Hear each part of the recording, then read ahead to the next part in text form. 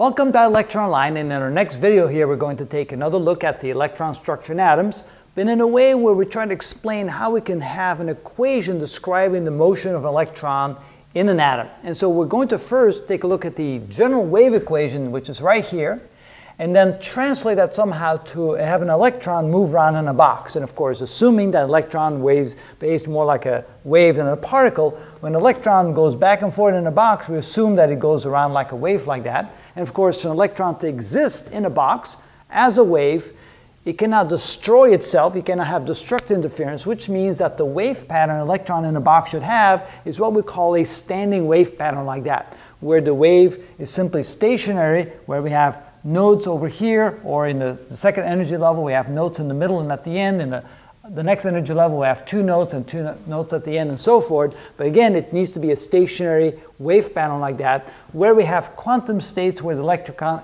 electron can exist and nothing in between.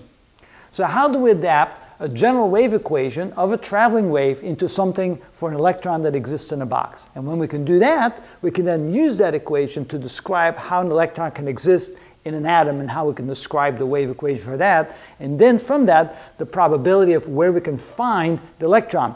And when we do that, we can finally explain why electrons exist in orbitals, the s orbitals and the p orbitals and the d orbitals in an atom. So that what, that's what this is all about. So we're starting from a very basic understanding and we develop that so we can understand why we have orbitals in the shapes that we do in the first place.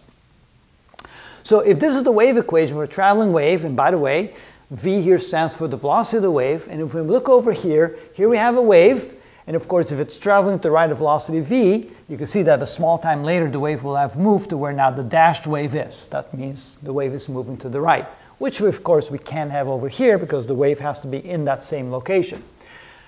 The equation that we can find to describe this wave which satisfies the general wave equation is this equation right here. It is the amplitude of the wave times the sine of kx minus omega t. kx is the position relationship and omega t is the traveling relationship that depends on the velocity of the wave. Notice that k is the wave number, which is 2 pi over lambda, and omega is the frequency of the wave, the, the, the radial frequency. And finally, the velocity of a wave is the frequency times the wavelength. So if we can have this equation right here because of the dependency on time, which there isn't over here, so what does the wave equation look like for an electron living in a box? Well, it turns out we need to get rid of this portion right here. And so when we take that away, this would then be the proper equation describing the equation of an electron in a box.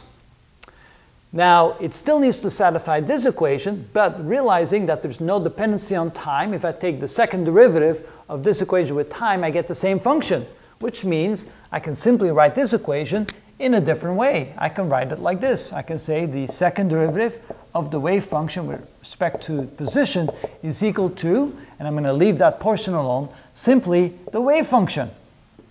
Because the second derivative with respect to time of the wave function here still sim simply gives me back the wave function. But what about the constant right here in the front? Well, there's two things we need to consider. First of all, it's not traveling with a velocity v to the right. It's stationary in the box. So if we take a look at that, we go back over here and we realize that the velocity is equal to the frequency times the wavelength.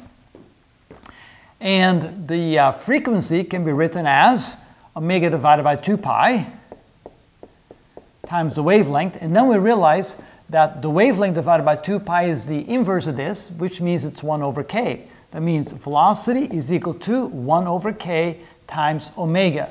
Or 1 over the velocity is equal to k times 1 over omega. And if we then square both sides, we get that. Which indicates then that instead of writing 1 over v squared, which is meaningless for an electron in a box because the wave stays in its, its place, we then realize that it's probably simply related to the wave number. And of course, since omega is no longer part of our wave equation for an electron in a box, we can probably just ignore that and assume that instead of writing 1 over v squared, we can simply write k squared as a constant that we need there.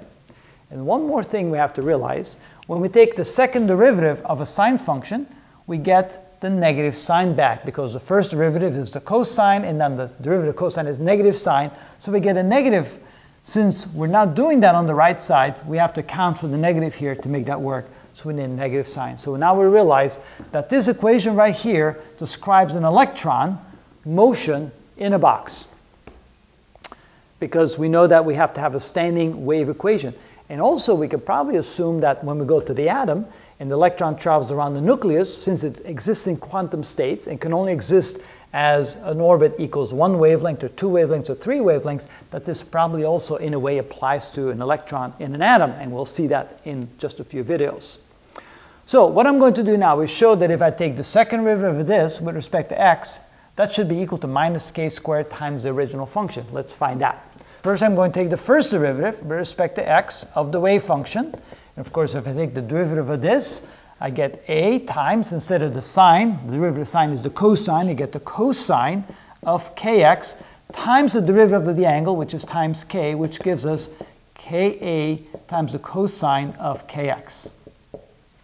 If I now take the second derivative of the wave function with respect to position, x, I take the derivative of this, which is ka. Derivative of cosine is the negative sine. So I get the negative sine of kx times the derivative of the angle, which is k, and that's where I get a k squared and I get a negative. So this is equal to minus k squared times the sine of kx. Excuse me. Okay, so now notice that if I plug that in here, right there, so I get minus k squared, and let me put a little line there so we don't get confused. So if I plug this in here for the second derivative, I get minus k squared times the sine of kx, and that should be equal to minus k squared times the original function. Of course, the original function is this, which is a times the sine of kx. And right away you can see that, yes, indeed, since the left side equals the right side, this would be a proper equation to describe the wave function of an electron, which means that we can define it by this sine function right there.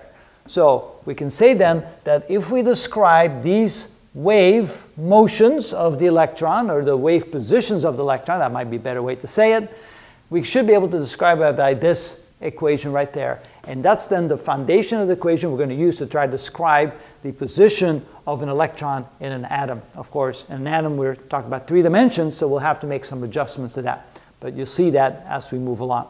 At least at this point, you should be able to see that we now have a wave equation to describe the motion or the existence of an electron in a box, and we can now, see that it satisfies the general wave equation adapted to a box, an electron in a box, from the general wave equation that we see up here. And hopefully that will help you understand how electrons exist in confinement of a box like that.